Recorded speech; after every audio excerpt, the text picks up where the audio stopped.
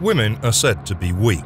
It's believed that they've been given the short end of the stick when it comes to dealing with life's obstacles. However, when you take into account all the problems that men have to cope with in life compared to women, the scales tip in favor of men. The major difference between men and women is that males have to define their values no matter what, whereas women don't have to. The success of a man shapes his personality.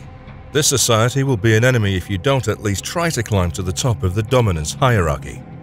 Even the close ones will find you repulsive and will reach a point of self-hatred where you can no longer stand to be alive. Remember, you have to pay a hefty cost for everything you'll achieve in life.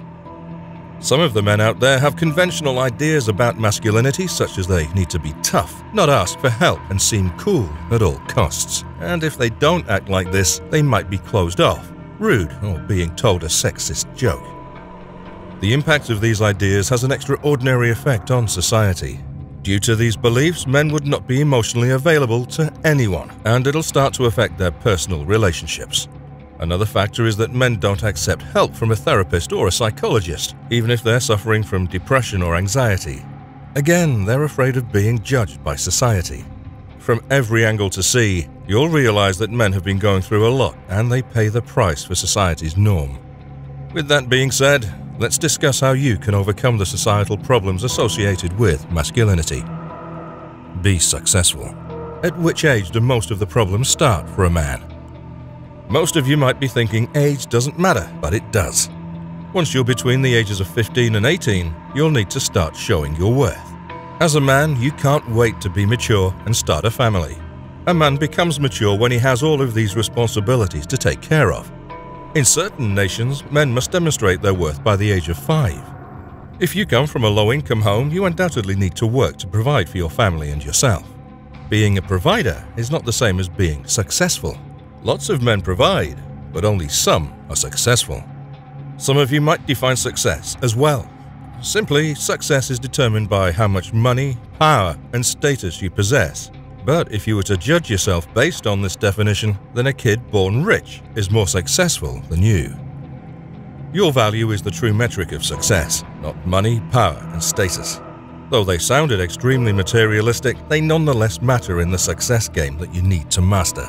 So, to put it in a nutshell, a high value man should be capable of earning money and using it to acquire status and power. Keep in mind that the game of success is extremely competitive and you don't have time. The Pareto principle indicates that the chances are stacked against you, but time is the single factor that has the power to change the odds in your favor.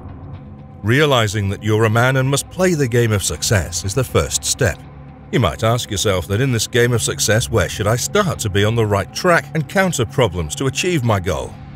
You should just begin by getting to know yourself you can consider yourself a character in a video game. You have to closely study your character like in a game. You would know that every character has different traits. Sometimes the game also defines the personality, strengths, and weaknesses of the character. Know your strengths and weaknesses and determine your apex values to verify your strengths and align them with your extreme values. You have to lose some to gain some in your life. Sacrifice all the other things in your life that are not helping you reach your apex values and assisting you to achieve your goals. Give up the laziness and step up your game. Suppose that you realize money is a major issue you need to focus on in life. Take the first step and look at your quality traits as you would look in the game, such as formal education and the schooling system. If you're not confident enough that these metrics will help you reach your goal, then you should begin looking outside of the box. Think of your life as a game and enjoy every step of the journey, because one day when you'll be successful, you'll miss being what you used to be. Start looking at other people in your life as you would look at characters in the game to teach you the techniques and help you level up. You should try and find a mentor that would help you make it to the end goal. Keep one thing in mind. Your mentor should be the one who has achieved every goal of their life and was once a struggler like you. You might even replicate his techniques and what he did to reach his goal. Additionally, if you study yourself and you see that you lack the ability to give value to others, then work on your social credibility. The greatest thing a man has to do is to make sacrifices, and if you want to win the game of life and success, then your future is based on the sacrifices you make on the journey to that goal.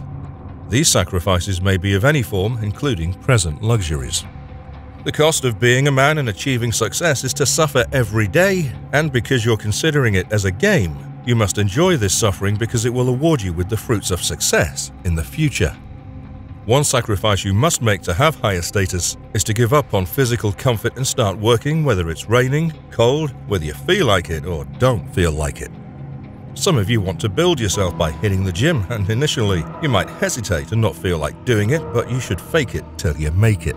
You have to convince yourself that you want to be there. You should convince yourself that you're interested in what the people have to say, and slowly you'll change into a person with high value. Success is very tough to achieve, and once you start to change your perspective of life, you'll start enjoying the true cost of being a man. The problem with this society is that if you refuse to play the success game, you'll be looked down upon and labeled as a failure, and even sometimes your family members don't want to accept you. They might even curse you to leave the house and be independent for your well being.